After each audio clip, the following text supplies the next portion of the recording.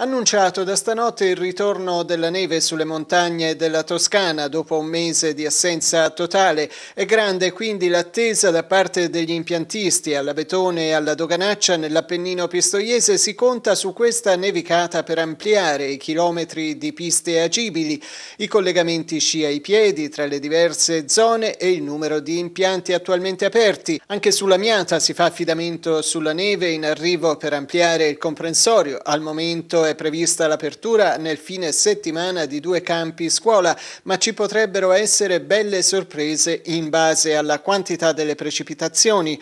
Occhi puntati al cielo anche in Garfagnana, al casone di Profecchia si aspetta la neve per aprire anche la parte alta della stazione, mentre la nevicata dovrebbe permettere di dare il via libera alla stagione a Zeri in Lunigiana e al Passo delle Radici, la località specializzata nello sci nordico. Ecco, molti gli eventi del fine settimana, tra cui spicca la diciannovesima edizione dell'iniziativa del CAI Sicuri con la neve.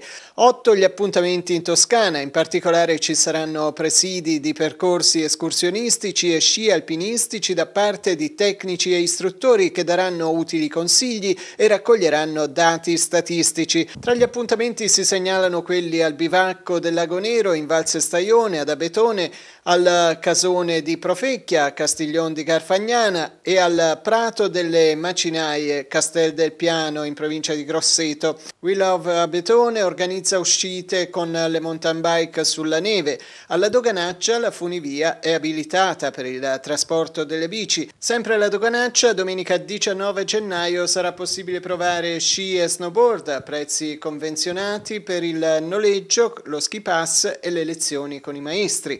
Infine per quanto riguarda l'agonia Turismo sono confermate le gare del 18 e del 19 gennaio alla Betone valide per l'Appennino Cup. In programma uno slalom speciale e uno slalom gigante per le categorie allievi ragazzi organizzate dallo Sci Lanciotto di Campi Pisenzio. È prevista anche la partecipazione di comitati fisi di tutto l'Appennino.